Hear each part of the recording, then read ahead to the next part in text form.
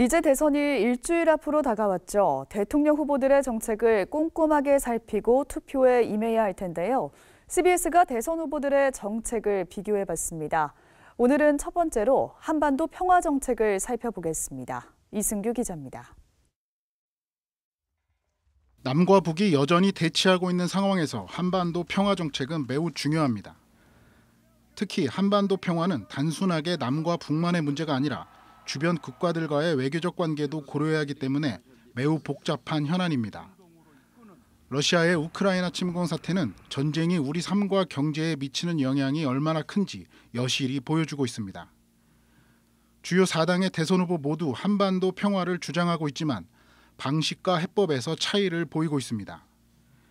이재명 후보는 남북 간의 신뢰를 바탕으로 지속적인 대화를 통한 평화 유지를 정책으로 내세우고 있습니다.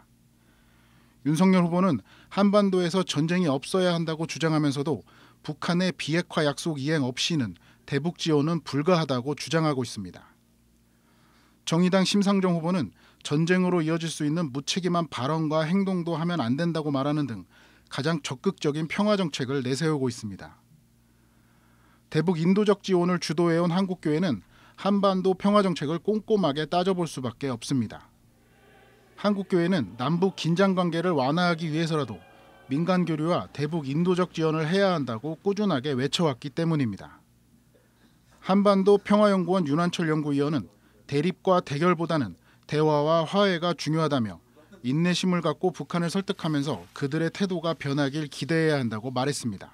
어, 그렇다고 해서 어, 대화를 막는 기조로 간다든지 선 비핵화라는 어떤 어, 있을 수 없는 조건을 내건다든지 이런 태도로 기다리는 것이 아니라 여전히 우리는 어, 태도를 바꾸기를 기다린다.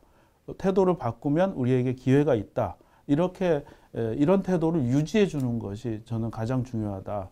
윤한철 연구위원은 또 기독교인이라면 평화를 제일 잘 실현할 후보가 누구인지 살펴보는 일이 중요하다고 말했습니다. 예수 믿는 사람들은 그보다 더한 대가를 치러서라도 우리가 평화를 어, 가져와야 된다는 입장이 저는 맞다고 생각합니다. 윤한철 연구위원은 기독교인이라면 나를 희생하더라도 평화를 지킨 예수님의 길을 따라가야 한다며 한반도 평화를 지키기 위한 기독교인들의 기도와 노력을 당부했습니다. CBS 뉴스 이승규입니다.